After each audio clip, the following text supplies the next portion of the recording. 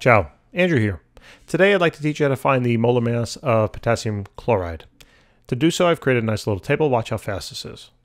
Bam. So the first thing I'm going to do is write the elements down that I see in the compound. So we see potassium K and we see chlorine Cl. Next is then to identify the number of atoms, and that's where the subscripts come into play. Now, if you don't see a subscript at the bottom of that element, there's an, assume, there's an assumed one down there. So there's one potassium and also one chlorine.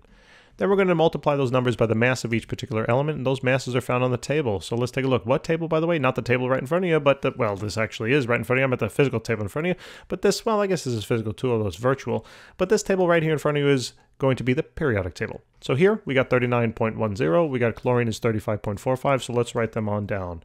Right, so here for potassium we got 39, 39.10, for chlorine we got 35.45, and all we're simply going to do is multiply the row and across to find the total mass of the element. That's the next step. So here, the total mass of potassium here is going to be 39.10. Total mass of chlorine is then going to be 35. Let me make that a little neater, right? 35, what? 35, there we go, 0.45. Okay, now that my hand is spazzing.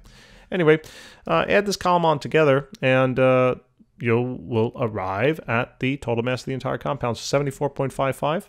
Since we're solving for molar mass, the units here are in gram per mole. That's all there is to it, ladies and gentlemen. Thank you so very much for watching. Now you know how to find the molar mass of potassium chloride.